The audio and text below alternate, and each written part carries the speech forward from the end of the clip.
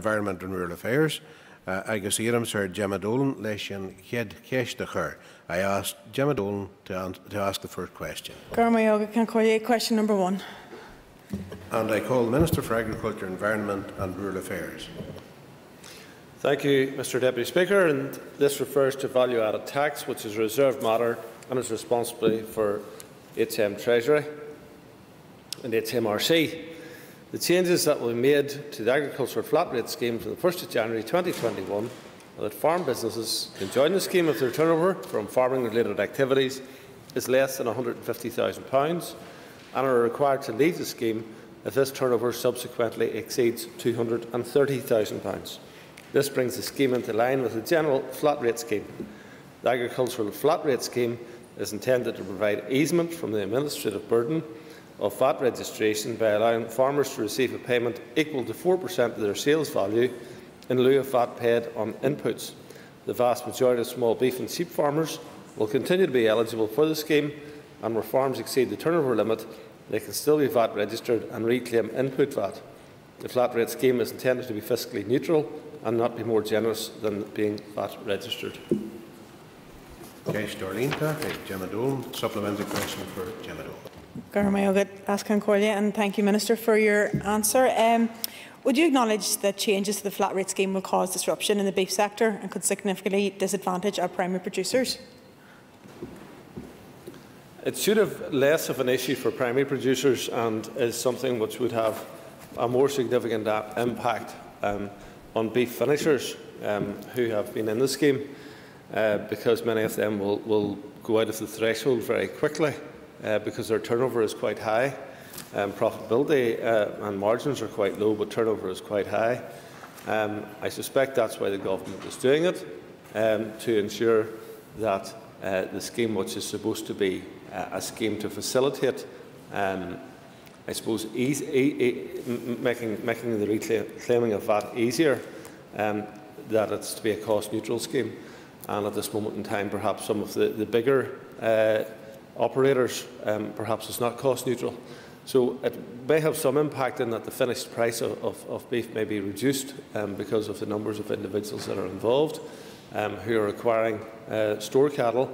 Uh, but generally for sheep and beef farmers, um, they will be able to avail of it if they desire to because they will fall within that £150,000 threshold of turnover. Call Robbie Butler. Thank you, Mr Deputy Speaker. I thank the Minister for his answer. Could the Minister tell us uh, what underpinning schemes and information he has put in place to enlighten the farming community about these changes and the support for those wanting to join the scheme? Well, this is uh, being led by HMRC, obviously, and it's for them uh, to inform people who are currently in the scheme um, that they will no longer be able um, to uh, avail of it. And uh, I believe that that has been the case. It is pretty well known within the sector uh, that the scheme is changing at the end of this year, and many people who have participated in it to this point um, will no longer be able to participate in it because of their turnover. Here third Loris Kelly for your case. I called Loris Kelly. Thank you, Deputy Speaker. Uh, question two, Minister. Is planning to employ an additional nine veterinary office officers and 14 portal inspectors within its portal branch at the points of entry into Northern Ireland, primarily at Larne and Belfast, from the end of the transition period on 31st of December 2020. These additional posts are currently being filled both through external recruitment, competitions and internal transfer of staff. Case Darlene Loris Kelly, supplementary question for Thank you, Deputy Speaker. I, I, from the Minister's uh, response, he seems to be fairly confident uh, that the post will be filled. I don't know whether there's any other contingency plans in place should there not be. And I wonder, have, has the Minister had any discussions with his colleague in the economy in terms of higher education providing places for veterinary students here in Northern Ireland? Well, two, issues. In terms of um, filling the positions, uh, with Northern Ireland um, reducing its uh, are, are receiving officially brucellosis-free status. Um, there is capacity within uh, the department, uh, which is very beneficial. Um, second issue on the veterinary school, um, I would be hugely supportive of a veterinary school. Uh, my chief veterinarian is supportive of there being a veterinary school. I believe the Minister for Economy is supportive of there being a veterinary school.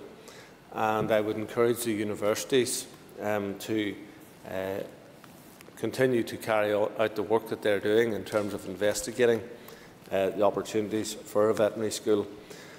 One of the issues that we have is that many young people are travelling not just to Ireland, to, to Scotland, and to England, but also um, to Europe uh, to study for veterinary. And sadly, many of them uh, get jobs elsewhere and don't return to Northern Ireland. We lose uh, that skill, and therefore having a veterinary school which is locally based uh, would help to, us to keep um, that skill base here in Northern Ireland, where it's very much needed. Here, Sir Declan McAleer, for when you cash, they call Declan McAleer. Good last Concordia. Um, the Minister made reference in his uh, earlier answer there to the possibility of um, reassigning some staff from, from within his department. Um, what, has he got any implications or does he have any assessment of any potential impact that could have for other programmes? Because he will be aware more than we all are of all of the challenges the department's facing in terms of the various strategies and programmes he's bringing forward. Thank you. No, as I was indicating, uh, because of the, the brucellosis um, free status that we have achieved, that has freed staff up um, and therefore um, the organisation can take place within the veterinary division uh, to ensure that um, we uh, you know, will reduce the amount of people that's needed to be recruited um, as a consequence of that. I call Rosemary Barton. Thank you, Minister, for your answer so far. Minister, I was just going to ask, uh, have you had any communications with UCD in Dublin about increasing their intake of students over the next year or two while you do get your veterinary school hopefully up and running in Northern Ireland and keep them in Northern Ireland? Uh, I haven't, um, and traditionally there has been a, a, a, slight problem in terms of the recognition of our qualifications at A levels um, uh, which has made it uh, a little more difficult for top class students maybe to, to get opportunities in some of the, uh, the, the, the, top universities in Ireland and consequently that has led to quite a number of them heading towards Scotland and England where our uh, qualifications are recognised in the same way. I call John Blair. Thank you, Mr Deputy Speaker, and thank the Minister for his answers. Can I ask in relation to, to the inspector's reports if any progress has been made in relation to the provision of a common veterinary area and what the medium to long-term uh, prospects are in relation to this? Um, the development of the facilities uh, will, will, not be completed until the middle part of next year uh, in terms of the, the programme that is being paid for uh, by the UK Government. Um, they have uh, given some money for the development of temporary facilities, which will be available um, from the middle of December. And consequently, uh, there will be facilities available for the veterinarians in place um, at the various ports. Éan Sir Órlaithí Flynn, Fornia Cast, I call Órlaithí Flynn. Gormy Agat, the last Concollia. Um, question number three, please. Forestry in Northern Ireland is a net carbon sink this has recently been recently confirmed in a detailed report by the UK's National Atmospheric Emissions Inventory on the 30th of October 2020. The report also projects that this will remain so under a range of scenarios considered in the report. The Department has received advice from the UK Committee on Climate Change on reducing greenhouse gas emissions in Northern Ireland. This recommends increasing the rate of woodland creation to 900 hectares per year as a simple, low-cost option to help capture carbon. I announced the Forest for Future uh, forestation programme in March, aimed at increasing woodland by planting 18 million trees to create 9,000 hectares of new woodland over the next decade. As well as helping to meet the UK Government net zero carbon target by 2050, planting new woodland will also help us grow a strong economy, a thriving environment and healthy, active communities.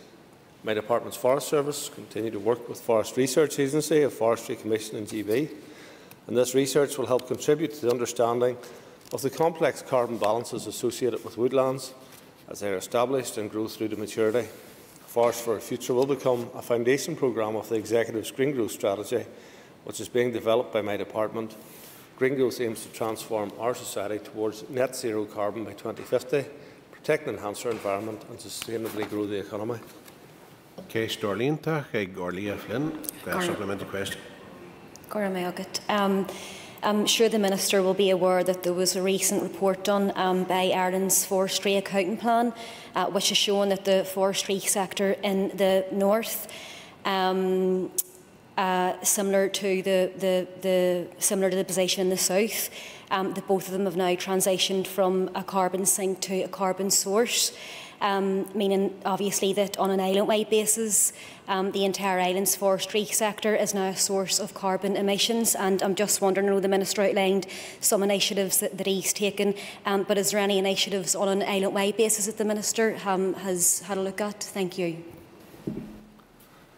I think uh, some other uh, politicians might suggest that uh, this report is fake news. A recent claim that the, the, forestry is a net emitter of greenhouse gases was made in a press release issued by Friends of the Irish Environment in response to a report prepared by the Republic of Ireland's Department of Agriculture, Food and Marine on greenhouse gas emissions and removals from forest, forestry. DAFM has countered that interpretation, commenting that forests remain a substantial and growing store for carbon dioxide, and to look at only one subset of forest estate can be misleading. The Friends of Irish Environment press release bases its conclusions on a subset of a report published by DAFM and focuses on woodlands over 30 years old, which includes tree harvesting over a period 2021 to 2030, which is estimating to result in a small net source of carbon dioxide. The small carbon dioxide emission is far outweighed by carbon dioxide captured by the forests prior to 30 years of age, as is also identified by the DAFM report, and taking the full forest cycle from planting to harvest and replanting into account, forestry as a whole is estimated to represent a significant store of carbon dioxide. It would be hugely unfortunate if people um, misconstrued uh, various aspects of a report um, and uh, conflated things uh, to turn it into something else. It is well known um, that forestry and trees are a net capture of carbon. Bradley, Bradley. Thank you, Mr Deputy Speaker. Could I ask the Minister um, how the Department capture that data. I'm thinking backwards in terms of the previous five years, how many trees have been planted, have the targets within the department been achieved, and is it being captured on an annual basis in the years going forward? Yeah, there is uh, identification of, of the numbers of trees that are planted um, each year, or the acreage of trees um, that are planted. So, for example, um, we have a scheme uh, this, this year and indeed last year, uh, and uh, the Forestry Expansion Scheme, and uh, that was uh, launched in June. And we have applications for the planting of some 547 hectares of forest um, this year. That's uh, approximately double the amount that was actually applied for last year. Uh, so we are having some success in terms of forests for the future, um, that uh, people are um, planting trees uh, and taking up uh, the mantle and identifying that they want to be involved. I'd also say that we have considerable number or, or considerable uh, acreages uh, being suggested to us, particularly by NI Water, um, but by other public bodies who are looking to participate in making our environment more sustainable by planting trees. Well, Jim Allister. Does the Minister, uh, I'm sure he is aware of the claims that uh, forestry obviously provides ammonia sequestration. The Centre for Hydrology and Ecology has made that case very strongly. Therefore, in coming up with his ammonia strategy, will that feature? And indeed, forestry, even in and about the bogs, which are the concern and the inhibitor uh, to some growth in the poultry industry. Would that be a possibility? Um, thank the member for the question. Uh, there's uh, a, positive and a negative to that. Um, the positive is that, that, forestry can provide a break um, for ammonia, so uh, strategically located uh, bands of trees could, could uh, do some good. Um, the problem with trees is that they are um, hungry for water, and consequently, um, the, the, the, using water close to the, peatlands is something which will lead to them being drier and consequently you, you lose carbon on that front. Uh, so at the appropriate locations, it may be an inhibitor to the spread of ammonia and something that can be considered um, is, is a short answer.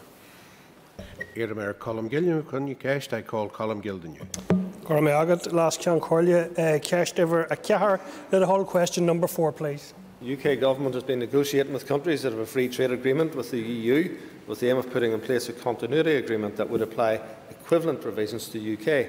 These negotiations have made good progress and it is expected that a large majority of these countries a continuity agreement will be in place on the 1st of January 2021. Trade with other countries will be able to take place in WTO terms as, as the case is at present. These measures will limit the impact on local agriculture of Northern Ireland goods being excluded from EU trade deals. I do understand there is the potential for difficulties for cross-border trade and a number of solutions are being looked at, but these will need to await developments in the UK-EU trade negotiations.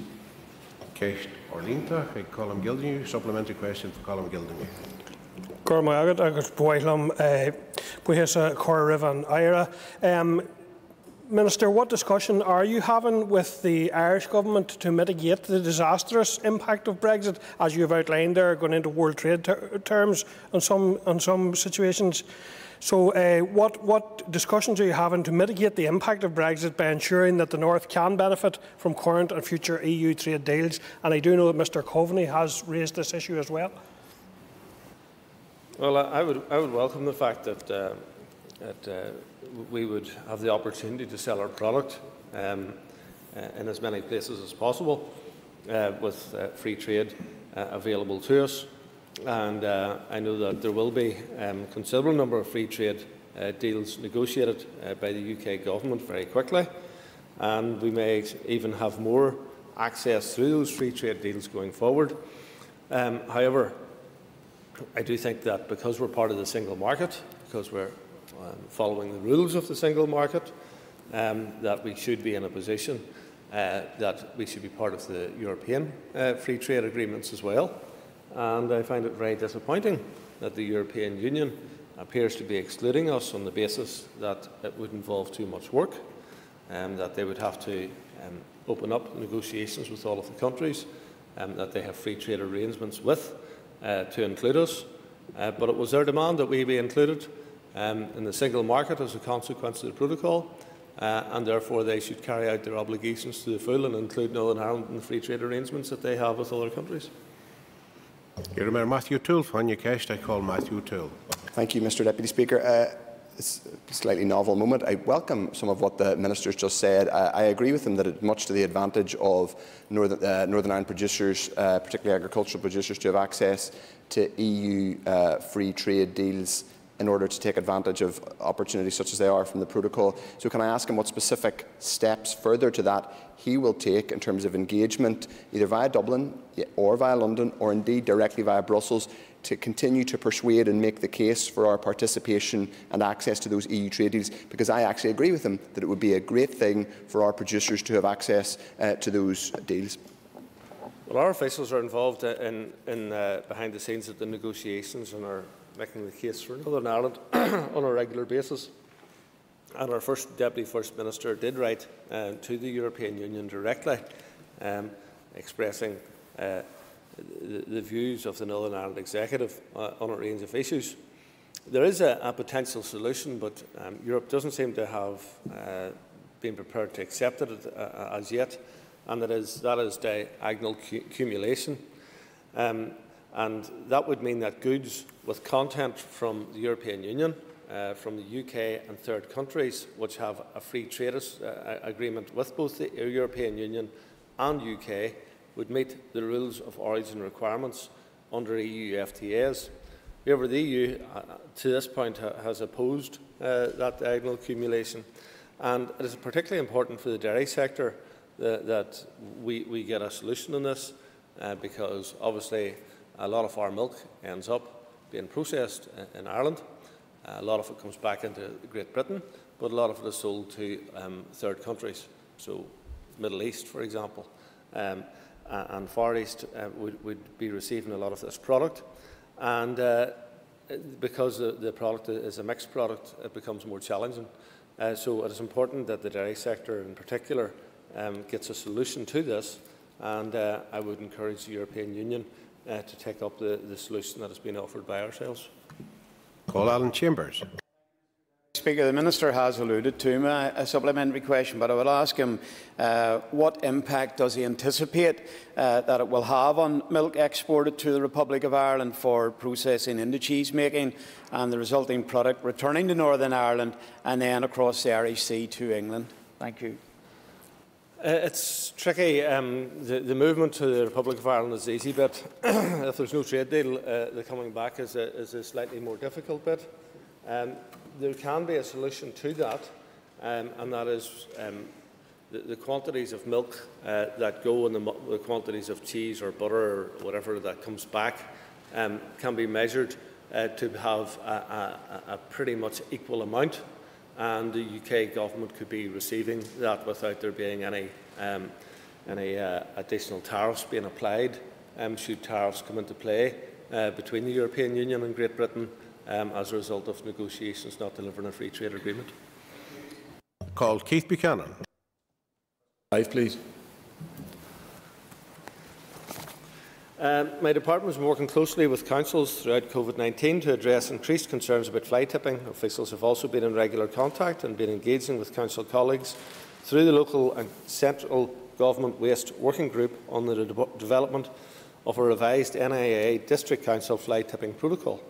While the majority of fly tipping incidents are dealt with by councils, the NIA have been assisting with the removal of hazardous waste such as asbestos and fuel laundering waste and will also investigate larger waste deposits.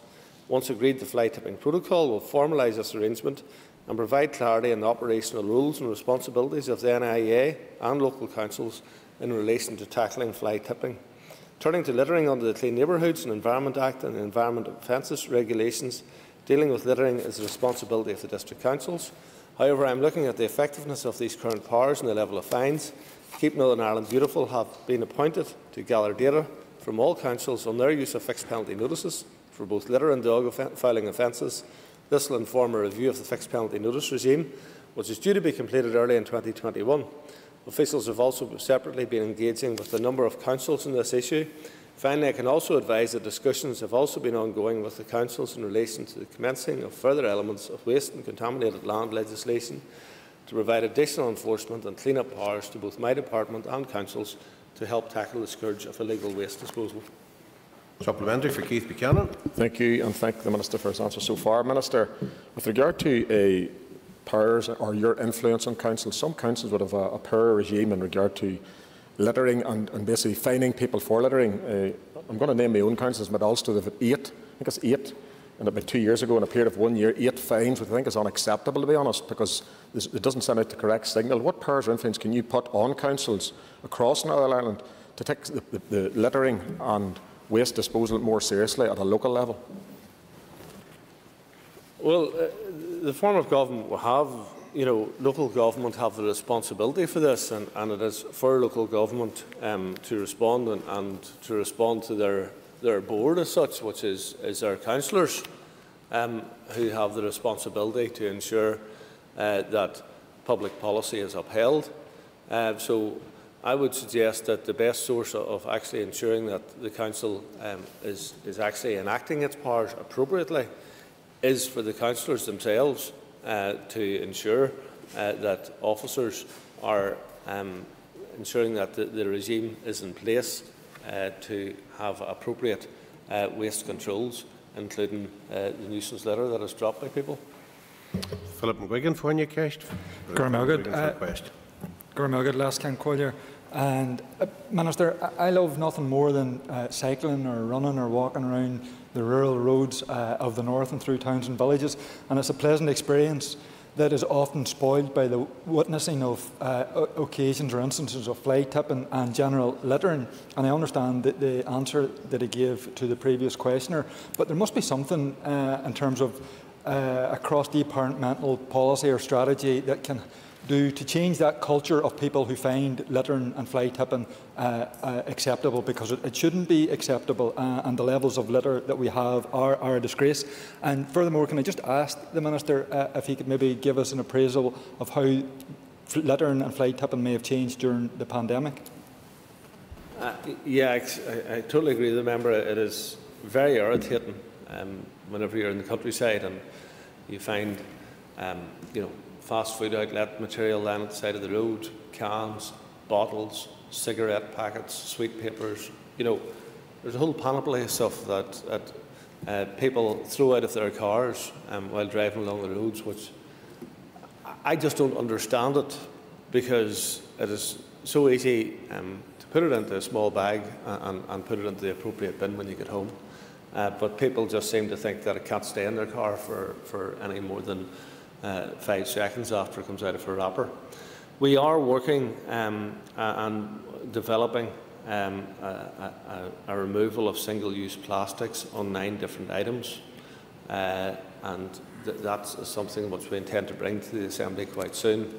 Um, so a lot of the packaging that would be involved, for example, with fast food outlets, um, we will get rid of that material um, which does not uh, biodegrade. Um, so there will be a course of work done on that. But essentially, this is an educational process where people need to recognise that it is wrong to throw out litter. It is wrong to fly tip. Uh, everybody knows it, but some people, there's a hardcore of people who seem to continue to engage in it and they spoil our countryside as a consequence. Call Dolores Kelly. Here, I'm Sir Dolores Kelly. Thank you, Deputy Speaker.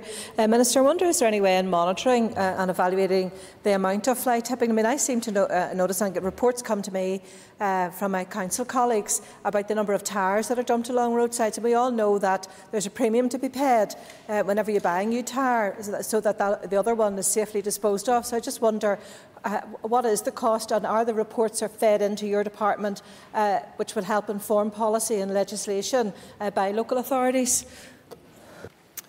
Tires is a big one, and uh, we would. Uh, I know that my own area, there's quite a bit of it goes on, and it's clearly wrong, and uh, very often it's left to the landowner, which is entirely inappropriate as well, because someone who had no role in this ends up with someone dumping in their land, um, and uh, the consequence of it is that they're left to deal with the problems arising from it. Um, there has been a, a, a, an uplift um, in uh, fly tipping uh, this year. Um, hard to assess fully yet. Um, it hasn't been massive, but it has went upwards, and we would associate a degree of that to the closure of household waste recycling centres. Uh, so we welcome the fact that almost all of them are operational once again, and I think it's um, incumbent upon councils to ensure that they are kept operational um, going forward. I have time to call William Irwin for a brief question and a brief answer from the Minister. Question number six, Mr Speaker.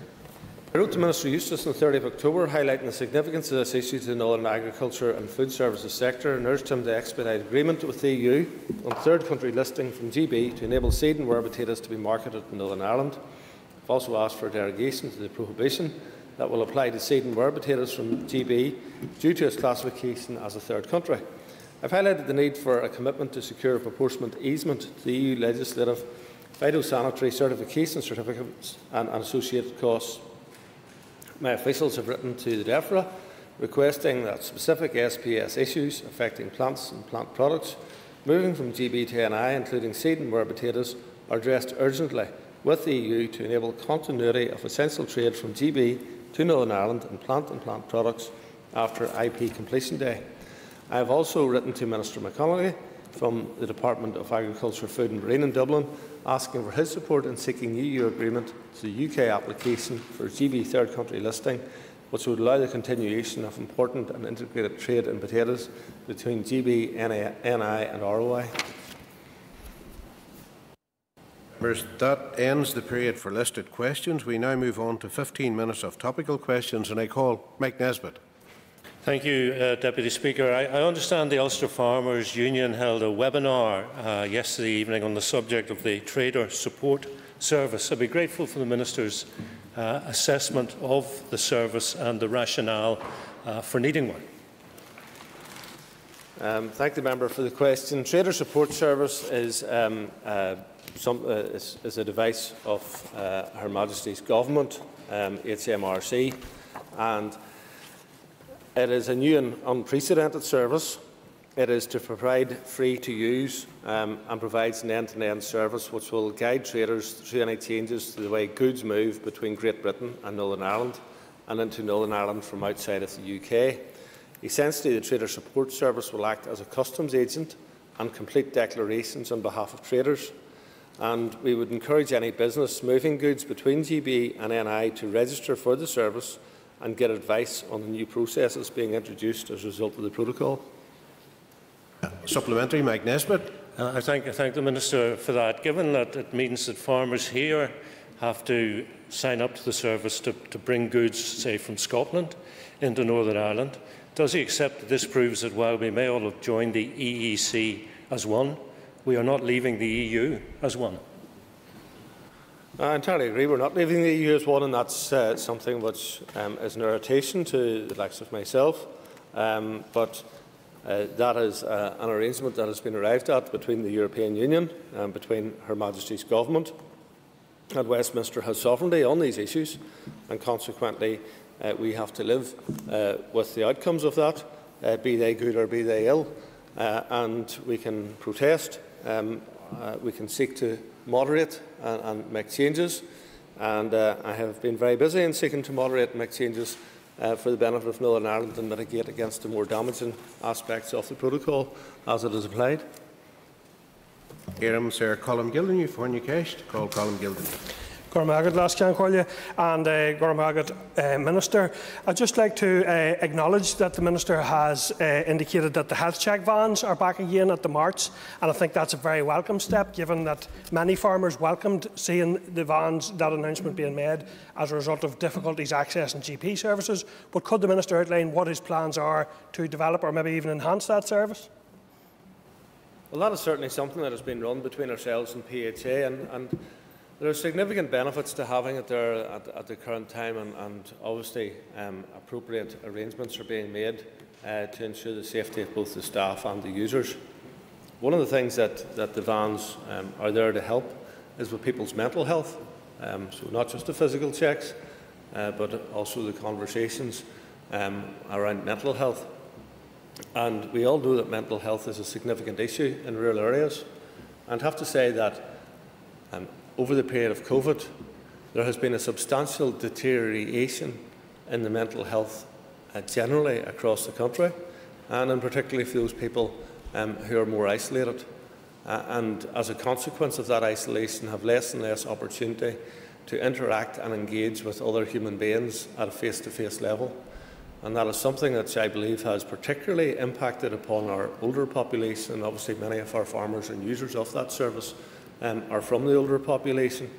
So we really do need uh, to ensure that um, the services that we provide go way beyond just looking after COVID, um, that we're still looking for those cancers. And it is very concerning um, when Cancer Focus are indicating that there's around a thousand less cancers detected this year than there was at the same time last year. Um, so I, I, am absolutely delighted that the services that are provided um, at the marts and in other uh, rural locations um, are, are up and going again. Case Dorlinta, Colm Gildernew supplementary question for Colm Gildernew. And are there other plans to, to bring it to locations other than marts, out into some of those harder to reach rural areas, Minister? That's something I'm very happy to discuss with PHA and with the Department of Health uh, and how we could expand that service further because one of the big things in health um, that, that we're all aware with aware of is that early detection saves lives. So early detection in cancers, early detections in, in, in circulatory illnesses, um, early detections in, in, in terms of um, you know, blood pressure and all of that there can avoid heart attacks.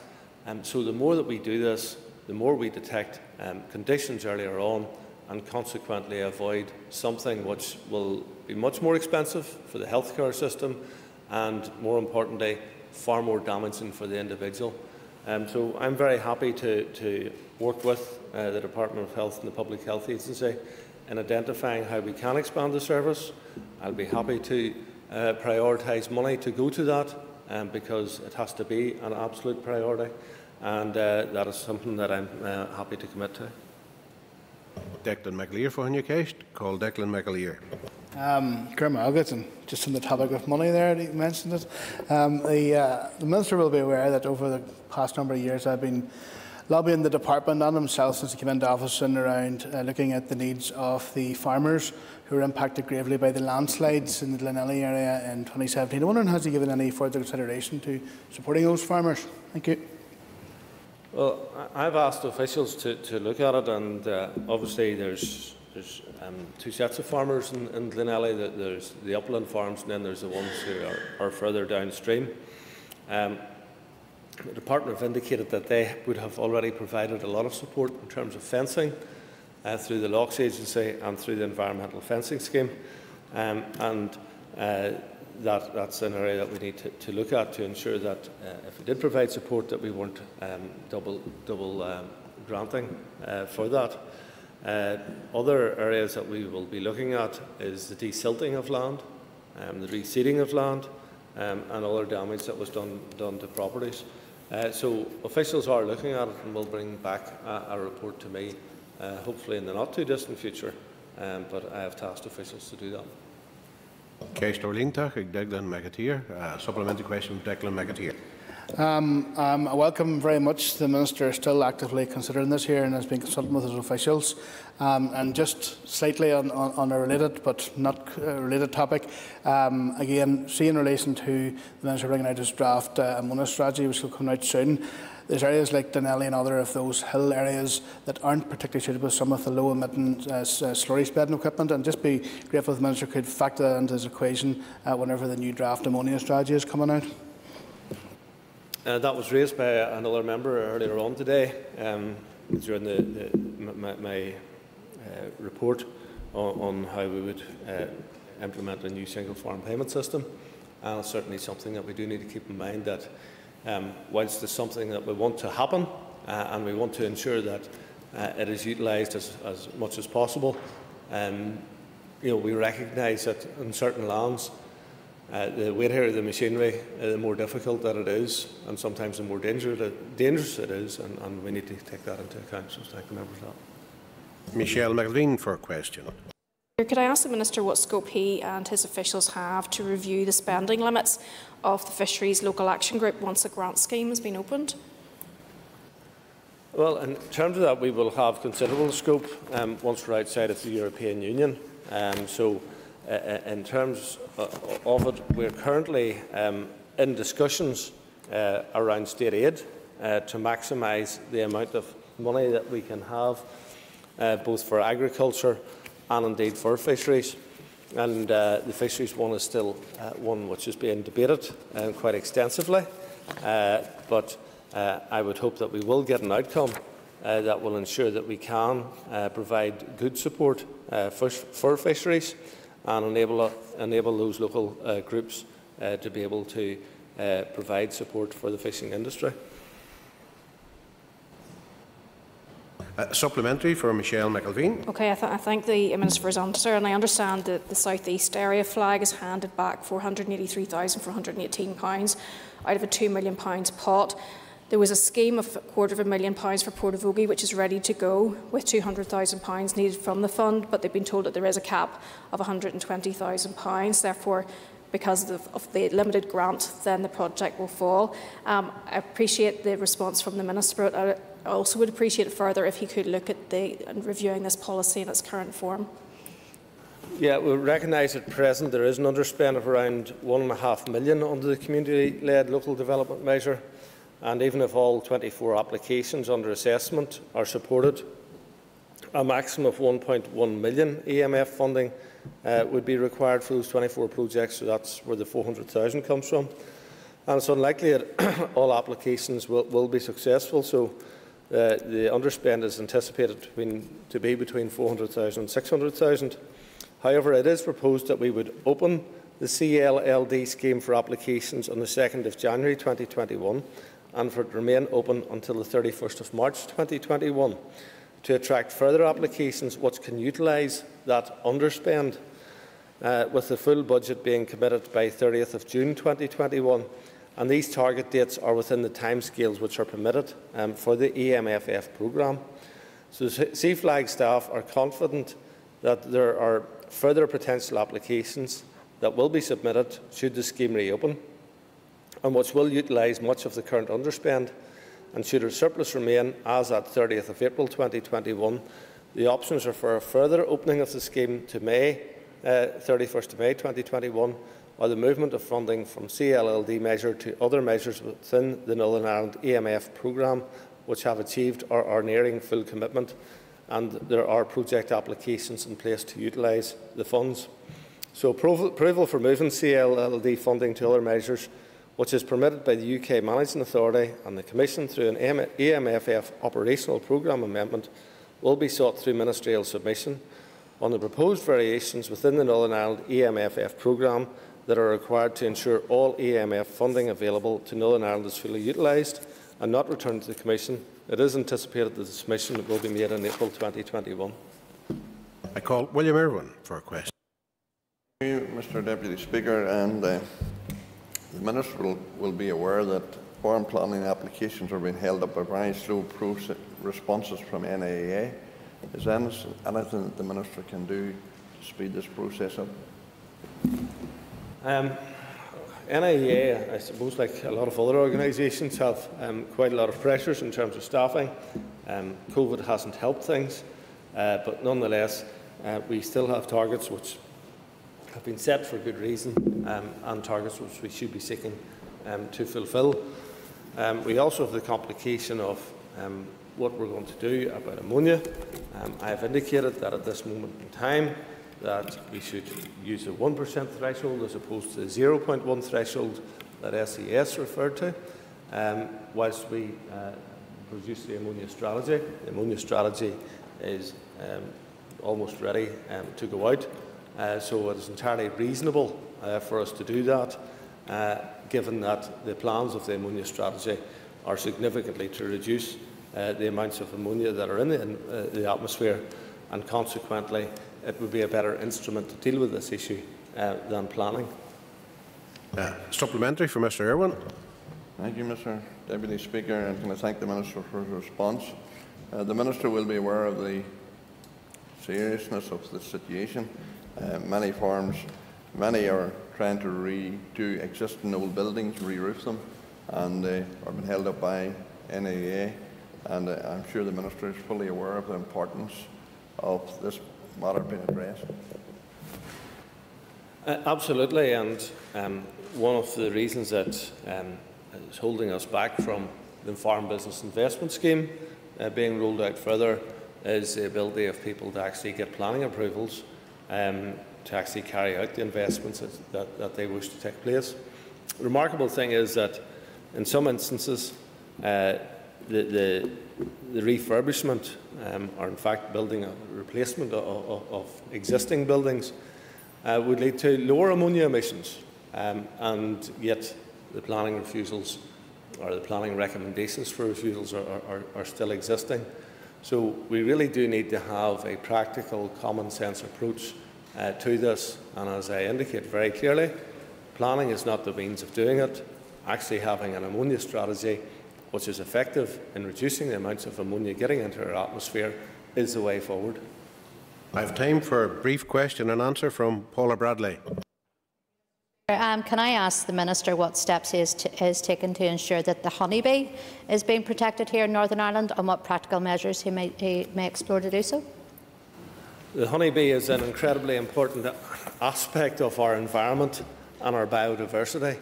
And I, was, I have spoken to officials uh, with regard to developing a strategy both on honeybees and worms, um, because I believe that uh, both those species have a massively important contribution.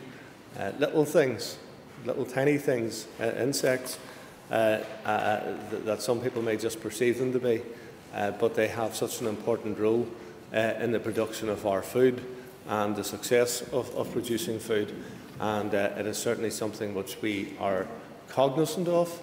Um, we look at other places like America, which has lost around a third of its honeybee population through um, the production of almond, uh, because people think that they're helping the environment by drinking almond milk, uh, and, and, the consequences of doing that is absolutely de devastating. So we are very supportive of, of that, uh, of the honeybee population, and we'll be looking at steps as to how we can actually encourage uh, uh, greater numbers of honeybees here in Northern Ireland. Thank you. Okay, members, that, that concludes. If members just take their ease while we allow other members